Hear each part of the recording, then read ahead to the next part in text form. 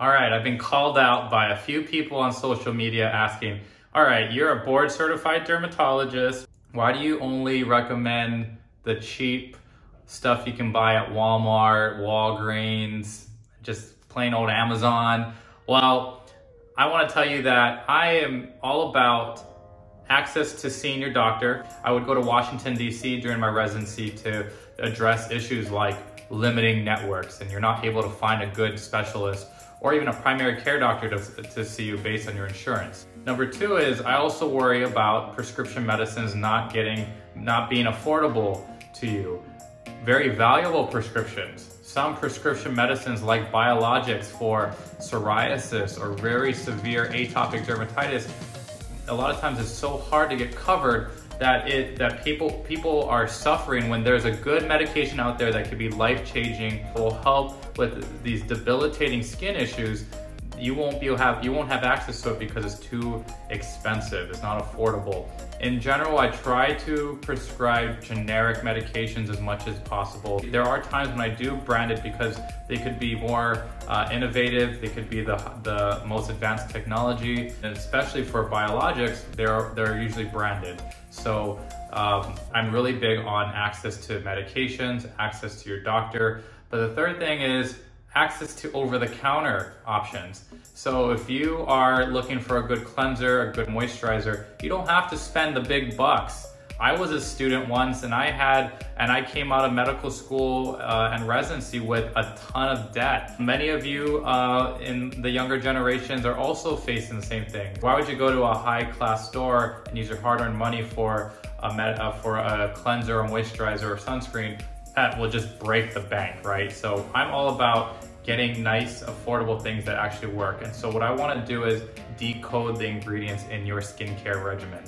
Let's start from the beginning.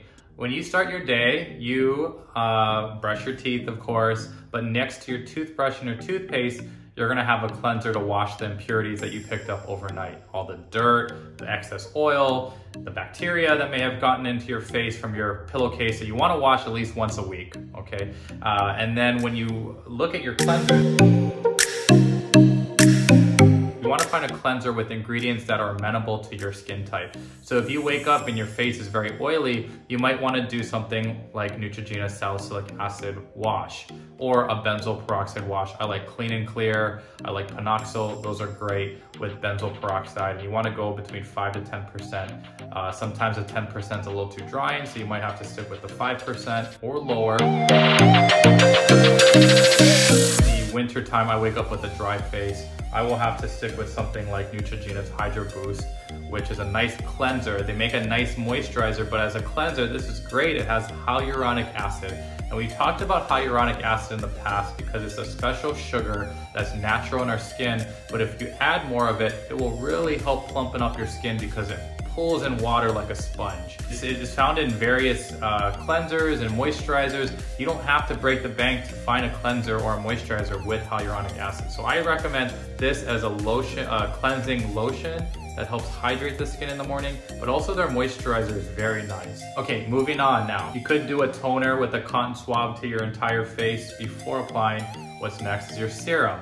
So a nice serum that I've been using that is very affordable, you don't have to break the bank for this one, would be CeraVe's Vitamin C Serum. So vitamin C is a nice antioxidant. It does help neutralize free radicals that we can get from air pollution, UV radiation that will damage our skin and cause aging.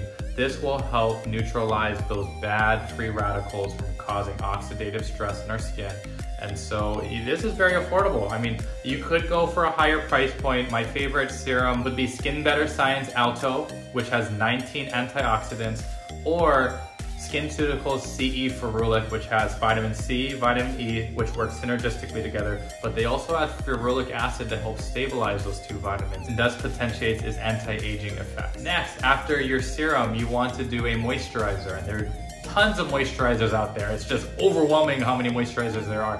But what I want to go through are my favorite ingredients in a moisturizer. One, ceramides. A great example of that is CeraVe. CeraVe is just a great go-to moisturizer. It has a whole array of ceramides that helps repair the skin barrier. and it also has niacinamide in some of their formulations, which is anti-inflammatory, so it helps people with acne. The other thing that you want to look for in a moisturizer would be hyaluronic acid, which we mentioned. Hyaluronic acid is great. We use it in a, um, you know, cosmetic, fill cosmetic fillers have hyaluronic acid because it helps fill and plump in skin and thus decreases wrinkles. So a very cheap, poor man's way of treating wrinkles would be just getting a good moisturizer that plumps up your skin. And that goes the same for if you want a good eye cream, hyaluronic acid in a eye cream is beautiful. You don't want to be relying on getting injections of hyaluronic acid filler around your eyes because it's very dangerous.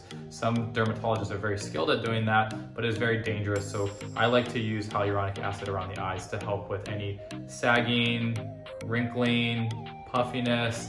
You want to just help hydrate the skin in that area. The other thing you want to look for in moisturizers would be humectants like glycerin, urea, especially for your hands. So if you're having dry skin from your hands, you wanna have something with urea. There's Eucerin Roughness Relief, which I like a lot. There's um, even Amazon just has the 40% urea, which used to be prescription. That's a, they used to be a prescription strength moisturizer to help with very dry, cracked fissure uh, spots in your hands and your feet. The only complaint I've heard from patients is that it can leave a residue. Whereas I like the Eucerin Roughness Relief. It has less urea, but it has uh, a great rub-in texture to it where you don't have to uh, notice that's there throughout the day when you're at work. Finally, you wanna have a good sunscreen. And there are great sunscreens out there that um, you can get at uh, Bartell's, Walgreens, made by CeraVe, Neutrogena, La Roche-Posay. All those uh, brands are great. I like Elta MD, which is a higher price point. But in general, you just wanna look for things with mineral ingredients. There are some um, really nice brands that have chemical ingredients but there's so much we don't know about it that I would stick with the mineral physical blockers like zinc oxide and titanium dioxide.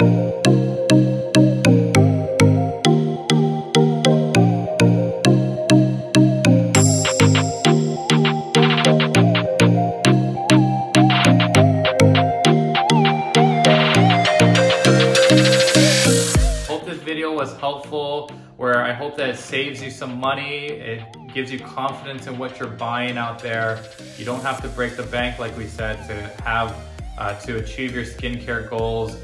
Incorporate these things in your skincare regimen. Please send me comments and feedback or suggestions on future videos. I would love to hear your thoughts. I like making these videos uh, after these few weeks of um, being on YouTube. So thank you for your support. I really appreciate it, truly do. Uh, so please like this video. If you did like it, please subscribe to my channel and send me comments. All right, guys, take care. Until next time, peace.